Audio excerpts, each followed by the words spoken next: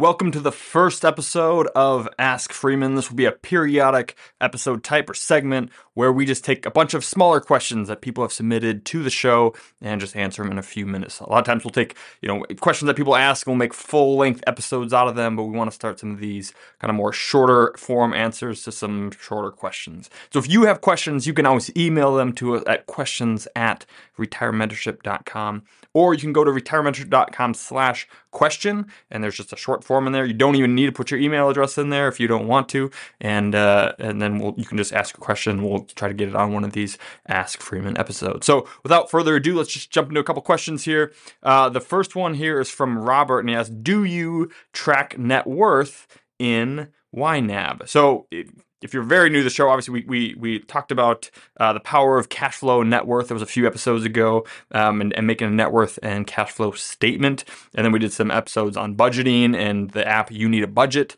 which I highly recommend, and you can get uh, if you're a client of ours, and, and potentially even if you're a retired member as well. So go back and listen to those if you haven't. That's a good question, Robert. Like, do you implement those things together then? Do you take the the net worth side of, of the power of having net worth and knowing what that is and tracking that, and do you incorporate that with YNAB and that app and always having that at your fingertips? Um, I do, but with some caveats there. So YNAB has this feature where it'll have like what they call your budgeting accounts, right? And that's where it takes in your checking, uh, your savings, maybe if you use it for that, uh, and then any credit cards or charge cards, those kind of things, right? And and it uses all of those and comes up with like your total like budget amount, like how much money do you actually have, which is basically your you know your your amount in your bank accounts minus any amount that you have outstanding in credit cards. And so if you've got you know fifteen thousand dollars in your checking, but you got six thousand dollars in outstanding credit card balances of just stuff that you're running up, even if you're paying them off, then you don't really have fifteen thousand dollars, right? You really have nine, fifteen thousand minus six thousand. And so it does a great job of doing those kind of budget accounts, and then also has this tracking feature where you can connect other accounts and just track them. And so maybe they, they're not part of your budget, right? You're not using them for, for daily expenses, but you just want to kind of pay attention to those and, and, and see uh, what's going on there. And then it will actually have a net worth uh, report uh, in the desktop version of uh. It's one of the few things that are only in the desktop and not in the mobile. And so the question is, do you, you know, do I do this? Do I track net worth in YNAB? So yes, I do. Um, and so like I'll, I'll do the you know my house and I'll update that once a year, put that in there. Um, I'll update you know some other different accounts and stuff. One caveat though is that I don't connect investment accounts. You can technically because it uses Plaid connections. You can connect, you know, your Roth IRAs and your 401. Like you could do all that if you want, but I don't recommend doing that. And the reason is, I don't recommend that you look at balances in investment accounts more than once a year if possible, right? Like if you, if you are planting an oak tree, you don't go dig it up every day to see how it's growing, or even every week, or even every month, or even every quarter. And so I don't I don't even recommend looking at monthly statements or quarterly statements, let alone uh, daily seeing what the balance of those accounts are. We are investing for the long term, right? Even if you are right up against retirement, and, and so the value of those accounts seem to really matter because you're just about to retire or, or whatever else, you, you still have, you know, decades to go in retirement, right? We always say that retirement is not the finish line, it's, it's mile marker 13.2 in a marathon. You're only halfway there. Um, and, and so, just in general, I don't recommend seeing the balances of your investment accounts. They'll go up and down. They'll drive you crazy because one day they're up, with another day they're down, and they're way down. And oh, oh my gosh, I lost fifteen thousand dollars, or I made ten thousand dollars, or whatever else. And and so to see that just creates a general anxiety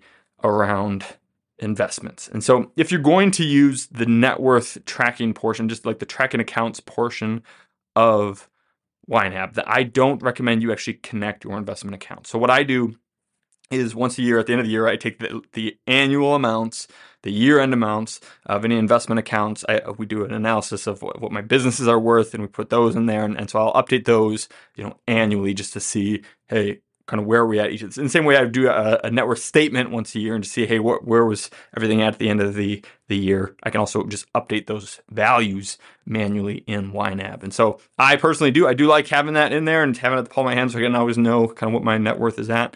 Um, and, you know, you see, you know, we've got mortgages and stuff and those, those get tracked in there as well, of course. And so you can see the mortgages getting paid down and the assets growing in general and see that trend and all those other awesome, you know, powerful things about knowing your net worth and, and paying attention to that. And so YNAB does become a great place to do that as well, but don't connect your investment accounts. It's too much information. You really just want to be focusing on your day to day. Hey, what can we do every day to move the needle, to push our, our budget forward, to, to do these things?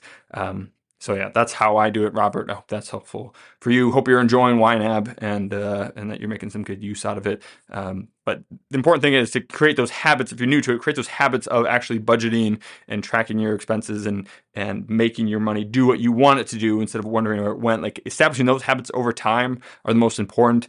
Don't spend too much time, especially at the beginning, getting bogged down like trying to track every detail. Uh, get the habits going first before we kind of do some of those more advanced uh, steps. Uh, Tiffany asks, uh, my husband works too much. Uh, how do I get him to stop working so much and to slow down? Uh, I don't. I'm not sure this is the right um, place for this question. That seems more like maybe for a marriage podcast or something like that. I will say um, a couple of things. One, um, some people there's a pressure to work and to make money when there's a there is a lot of money going out. So when, there, when it seems like you can't make progress and, and the money is just being spent constantly, there's a pressure to always be trying to make that money. And because some people, some people have different threshold between how much money they are comfortable with having in their accounts or, or in control of all the time. So if it's leaving very quickly, they want to be filling it in even more quickly. Or even even if there's just a perception of that, right? And so one thing that I've noticed is that you know there some of us have like this proclivity to always be thinking of ways to spend money. We're always thinking of the next trip we want to take, the next item we want to buy, the next whatever else. And and if so, I guess you know we can't control other people, right, Tiffany? So I, I don't know how to how how much influence you can have on making him stop working so much or, or making him slow down. Um, all we can control is ourselves. Um, so I might for whatever this is worth, and uh, the advice is worth what you pay for it, right? Um, I might think about, am I always talking about how to spend money, and am I always driving the focus on on how to get rid of the money, which is making him subconsciously want to always be making it to replace that, right? And so it maybe there's just some things that you can do to to divert that and maybe if, if, if there's more ways of the of your thinking of how how do we save more money? How do we do these things? A good resource for that honestly is to look at some of the work of like the the simplicity movement or the the minimalism movement. You can uh, you know get the book the more of less by J- joshua becker or watch the the minimalism documentary on uh, netflix or some of these other things. And then if you there's a whole movement over there which is all about hey, life isn't about spending money, right? It's not about uh, gaining more and more things and you're constantly buying more and more and then you got to get bigger houses to store more and more of your junk and and then storage units and you got money going everywhere just to to own all these things. And life is more about experiences and relationships and some of these other things. So I want to do a podcast on that at some point um, because I think it's it's powerful and something that I'm trying to. I'm, I want to get better at myself before I talk about it more. But that might be something for you to consider. Is like, hey, is there things that I can do to to begin minimizing the amount of money that I'm trying to spend or that we are encouraging our household to spend and how do we save more. And as, as some of that accumulates then inside of your accounts instead of grow and there isn't this constant focus on how do we spend money then maybe you'll have less of a focus on how to make money. So that's just again this is probably not even the place to be asking that question but for whatever that's worth from the financial uh, angle of it um, maybe that would be helpful to you. The other thing that that you might do is um, you know we talked about in few episodes ago having goals together and and having a, a, focus. I think it was in the budgeting episode of you know, do you guys have joint goals? Do you have things that you're trying to do, and are your goals aligned? Have you had those conversations about hey, what do we want our money to do for us? What are our goals as a family, as a household, as a couple? Um, and if you haven't had those goals, like maybe you guys are, are are really aiming in the different directions you don't know, and that's causing that friction between there. And so that'd be something to look at is having those goals. And then lastly, I guess the only other thing as I'm thinking about this is we've had some people who are aggressive, like are truly aggressive savers. And so maybe you're not spending anything, and maybe I was totally off based on that. And you're like, no, he just works a lot. We just we keep making more and more money. We've got more money than we know what to do with, but they just keep making it. And, and some people, again, there's this. There's also the itch that we don't, we still don't have enough, right? And we see that a lot. And sometimes then doing a financial plan, and, and we talked about this actually in the benefits of financial planning last week. But one of the benefits being visualization and actually being able to see the effects of everything that you're doing and have yet to do. And so we've had several clients that have come to us and it hasn't been about like, hey, how do we save a little bit more or, or make your money work harder for you, pay less? And I mean, it is about those things too, but but it's been less about how do we get you to save more to make sure we hit your goals. And it actually has been, hey, you guys have saved way too much. You're gonna have more money than you know what to do with. So how do we start spending more, or how do we start earning less, or can you can you ditch that job that you actually hate because you don't actually need the money anymore, or you know, some of these other more freedom, more life giving uh, elements of of finances. And so that's one of the kind of the hidden um, out, outcomes of financial planning, I think that don't often get thought about is that there are some people that save too much and they make too much and just out of this compulsion, they don't think they have enough. And when you can show them, hey, we actually do have enough, you have enough to do everything you want to do and more, you know, can you slow down? Can you try to do other things? Uh, so that might be the other element. So there's maybe the spending side, like we're spending too much and they're always trying to make money to do it, or you're saving too much and we don't realize we already have enough and kind of using some some goal setting or some of these um, you know, financial planning, that kind of things might help settle one uh, or the other of those. So for whatever that's worth, um, I hope that's helpful for that. Let's do one more here. Uh, uh, Tim asked, do you recommend the debt snowball or the debt avalanche for paying down debt?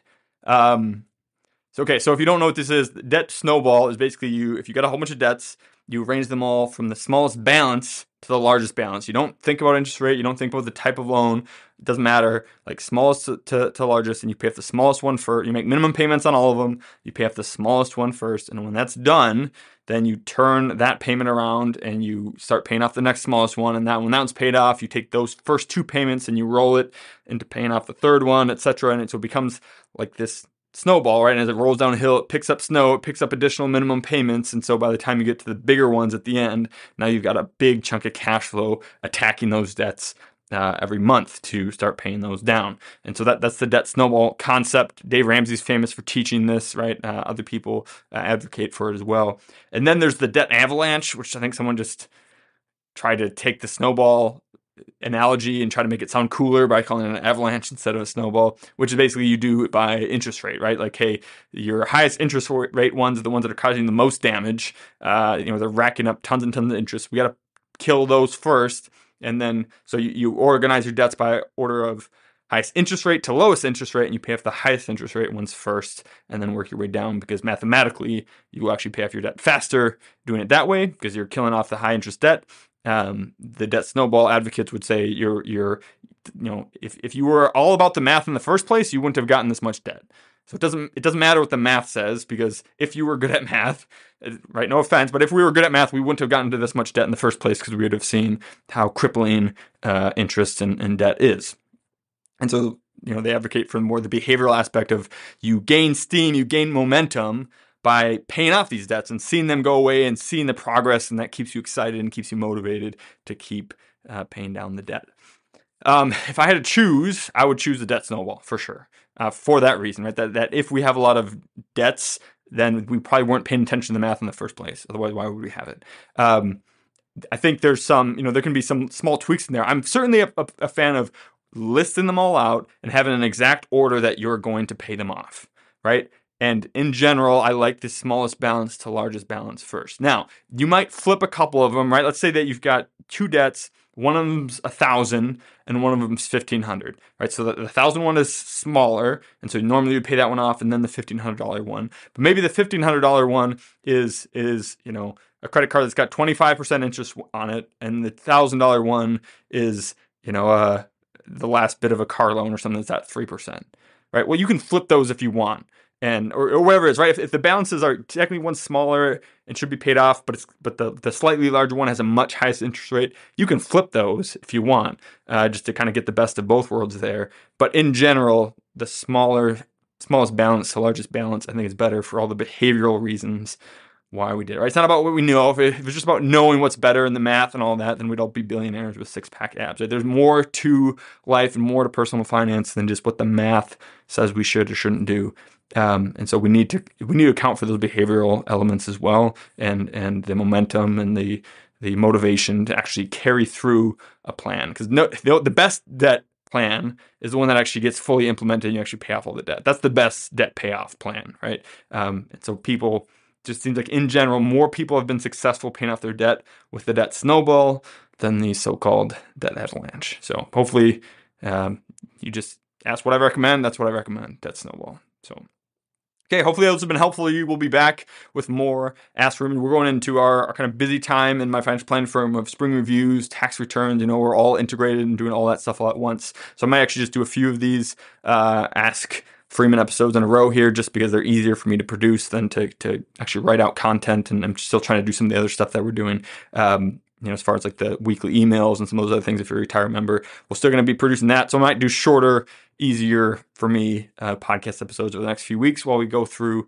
spring reviews and tax season. Um, so stay tuned. Hope you, if you know, if you haven't ever yet, you listen on Apple uh, Podcasts or one of the other ones that I'll you to rate. And this has been a helpful podcast to you. I'd love it if you'd give it a five stars. It helps other people find the podcast and, and spread it. And of course, um, we've got lots more in store uh, coming up. Hope this has been helpful. We'll see you next week. Cheers. If you enjoyed that, you would love being part of our free membership community. It's called Retire Membership and has a host of benefits all for free.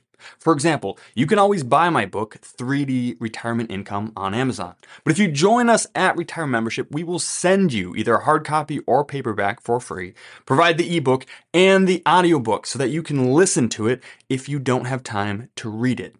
In addition to that, we'll also provide you with a bunch of content that you can't get anywhere else. For example, we have our quarterly Retire Mentorship magazine which comes out quarterly and has no ads whatsoever. It's just timely content to help you stay the course. We also have workbooks for our free online workshop to help you get the most out of those, flowcharts to help you make better decisions, and a weekly email to provide timely content that you can unsubscribe from at any time. We never ask for any payment information and we never share your information with anyone else. We just want to provide timely content and help you stay the course to retire successfully and stay successfully retired. There's no reason to wait, so join us now at retiremembership.com where you can click in the link in the description and it'll go right there. We can't wait to see you in the community. Cheers. This podcast is educational only and is not investment, tax, or legal advice.